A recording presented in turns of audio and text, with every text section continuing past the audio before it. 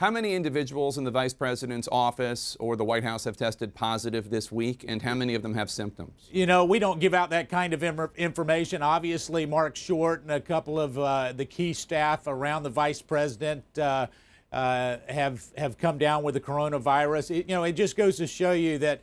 Uh, that we continue to face this enemy that came from uh, from China, and yet uh, what we also know is uh, the one area that where we are rounding the corner is is really uh, the the death rate as it looks to that. Our ability to handle this has improved each and every day, uh, each and every month. And uh, you know, when there were estimates that as many as 10% of the population that got this would actually experience a, a, a fatal result, mm-hmm. you know, we're we're, uh, we're now down to 2.6. Every death is too many but hopefully right. we're going to get this so, to the so, point where it's not as lethal as the flu. So, Mark, Pence advisor Marty Obst tested positive days ago, and that was not disclosed to the public at the time. According to the New York Times, quote, two people briefed on the matter said that the White House Chief of Staff, Mark Meadows, had sought to keep news of the outbreak from be- becoming public. Why would you do that? Is it because it's Yet another well, sign of how much the White House has failed to uh, contain the virus? Yeah, yeah, obviously that's not a report. That's actually a tweet. And when we look at this, when we're really talking No, that was in the New York Times when, story. When, that was in the we, New York when, Times when story. We actually, when we actually have people's health at risk,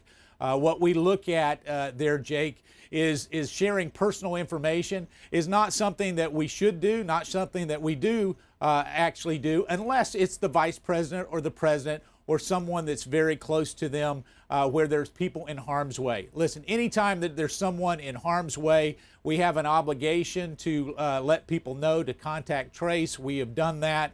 Uh, we did Chris that. Christie this, says you in, didn't do that with in, him. In, in, this particular, well, in in that uh, in that vein, when you look at Chris Christie, it's within 48 hours of symptoms. And when we looked at the president, there was not a contact yeah. within 48 hours of, of the president where he would qualify under CDC guidelines. We actually have a CDC so person Mark, in. Hold on, Jay. We've got a person, a CDC person embedded here in the White House that helps us with contact tracing. Right. No, I understand that. Day. So, yeah. Mark.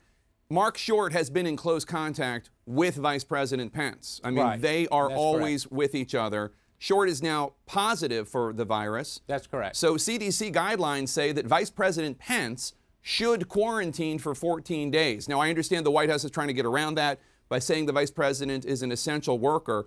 But, Mark, how is going all over the country, how is that uh, campaigning? How is that essential work? It's not like he's helping to contain the virus. In fact, the opposite. He's holding rallies that could be spreading the virus. Well, actually, he's not just campaigning, he's working. We saw a, a Middle East peace agreement with Sudan in the Oval Office that the president engaged in. And for anybody to suggest that the president has been out campaigning and not getting things done, uh, all you have to do is look at the facts. He was so, at a campaign so, rally so, in Tallahassee. He so was just in a that, campaign rally that, in Tallahassee. I, I'm not saying he's not campaigning. I'm saying that that is only part of what he's doing. And as we look at that, essential personnel, whether it's the vice president of the United States or anyone else but he's not has to continue on. CDC Jake, guidelines. Jake, well, no, Jake, CDC guidelines does say essential personnel. Yes, it says they wear a mask. Up, if they wear a mask. And and I spoke to the vice president last night at midnight. And I can tell you that what he's doing is wearing a mask, socially distancing, and when he goes up to speak, he will take the mask off, put it back on. But he's he's wearing a mask as it relates to this particular thing because the doctors have, have advised him to do that. And so, Jake, when we start to look at this, you know, here's here's where we really need to make sure. On your website yesterday, Jake, yeah. Your, you know, your website is talking about, well, now we think the spread is coming from small social groups and family groups. First it was large groups. Now it's small groups. It's now coming from all now, sorts now, of places. well, it's that's coming exactly, from all sorts of places that's because exactly the pandemic's the out of control. So, so here's what we have to do we're not going to control the pandemic. We are going to control the fact that we get uh, vaccines, therapeutics, and other mitigation Why aren't we going to get control of the pandemic? Because it is a contagious virus, just like the flu. Yeah, but why not make efforts to contain it? Well, we are making efforts to contain it by running and all over the country, not wearing a mask. Jake, that's what the vice can, president's doing. We can get doing. into the back back and forth. Let, let me just say this: is what we need to do is make sure that we have the proper mitigation factors, whether it's therapies or vaccines or treatments, to make sure that people don't die from this. But to suggest that we're going to actually quarantine all of America, lock it's- down no our one- no one's saying that. Well, that they are. Joe Biden's saying that. He says lock everybody That's down. We're going to have we're going to have a dark we're going to have a dark winter. We're going to have a dark That's winter. what health officials say. That's what Well, health officials say no, that it's going to get worse. No, no we that's Joe Biden's worst re- days Jake, Jake, you, in let's terms be honest. infections let's, Friday let's, and Saturday. Let, us be honest here. The the health officials did not say dark winter. Those were Joe Biden's words. He when we look at the a health official. I when- think he was when- quoting William when- Haseltine. When we look, when we look at the number of cases increasing, what we have to do is make sure that we fight it with therapeutics and vaccines, take proper mitigation factors in terms of social distancing and masks when we can. And when we when we look at this, what we're, we're going to defeat it, Jake, because what we are, we're Americans. We do that. And this president is leading while Joe Biden is sitting there Mark, suggesting that the- we're the going to mandate The masks. president is holding rallies all That's correct. over the country. That's correct. No In fact, masks, we're leaving- No we're- masks required. No distancing. we- there have already been, according to health officials, contact tracing. There have already been cases of individuals in Minnesota and in Washington D.C. and in Oklahoma that got the virus at these Trump rallies that Dr. Fauci himself called a super spreader event, the one at the White eh, and House. there's also been That is contact not tracing, leading. Jake. That is not leading. There's all been also been contact tracing from reporters, some with your own group, where they actually have worn masks religiously. And so what I'm here to tell you is, is we need to find the vaccines and the therapeutics to actually give Americans the, the relief that this is not a death Mark. sentence because it's not. And yet at the same time, to, to suggest that any of that is, is not accurate uh, is, is, is, is just the, not the based on the line. facts. Here's the bottom Yeah. line. We know, according to health officials, that masks are the best thing people can do in terms of trying to prevent the virus from spreading. Period. Yeah. That's what they say. Until the vaccine and Operation uh, Warp Speed, and until that all works out, Okay. the be- best thing to do are masks. That's from Yeah. Dr. Redfield. It's from Dr. Fauci. It's from Dr. Birx. It's from everybody. Yeah. Okay.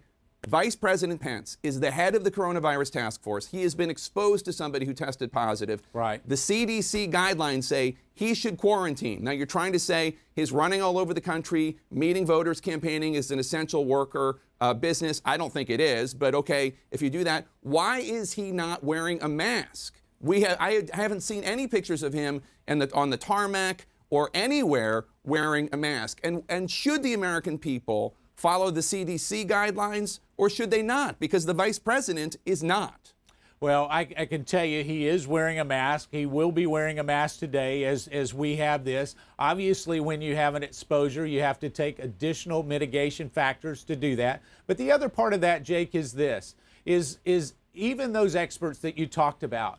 When we talk about mask, I said, well, if mask is the answer and mandating mask is the answer, can we put all our students back in schools? If we just mandate mask and make sure the teachers wear masks, will they- Americans follow will- CDC will- guidelines? will- will they be safe? And the answer was no. Should And Americans follow CDC guidelines? Certainly, uh, certainly Americans should uh, follow CDC guidelines. And They when should. we when we look at that, Does that include the at that- president? That, includes the president and it includes everyone. But there are special. Well, then why don't your supporters wear masks at rallies? well, you're asking about the supporters versus the president. Well, why you don't you require- and- and why so- don't you require well, supporters we, we to wear don't masks at mandate rallies? masks because here's the other thing: is we offer them out. We live in a free society, Jake, and and when you look at that, you know, under under a Joe Biden's America, he would lock everything down. he would not- make sure. that's not no, true. well, how do you know that? Have you asked him that question? Ask him that question, Jake. Because I've How seen is a he million going to interviews. I've seen no, a million uh, interviews with it. We're not talking No, talking he about doesn't do many. hypothetical. no, well, you I'm are ta- talking about how hypotheticals. I've interviewed Biden more than I've interviewed Trump. Okay, I'll put it that I, way. I, I get that. Well, because uh, from a standpoint, We don't have to get into that. We we can get into that in terms of interviews. I think most journalists would agree. Joe Biden has largely been unavailable. He's hoping to run out the clock right. so that the American So people America, the know. American people should abide by CDC guidelines, but you are not even asking your supporters to wear masks, We, we even have. though we pass them out, Jake. I mean, have Do you know how many to- people in have you- Minnesota have gotten the virus because you- of Trump have- rallies? Have you been to a rally? You come on with us to a rally, and we'll it will show you. We, we give out masks. We have a number they of don't people wear wear- them. Well, it's a free society. You're not wearing one right now, Jake. There's literally nobody in this room. There is literally not Yeah, one person so- in the studio. So you're saying that you always wear a mask wherever you go. Come on, Jake. The American people know that's not true. I know it's not true. I wear And- a and- mask uh, it- when, except when I'm in here, in my office, and home. That is true. Hundred percent. But- but I wear a what- mask when I walk in the hallway at CNN.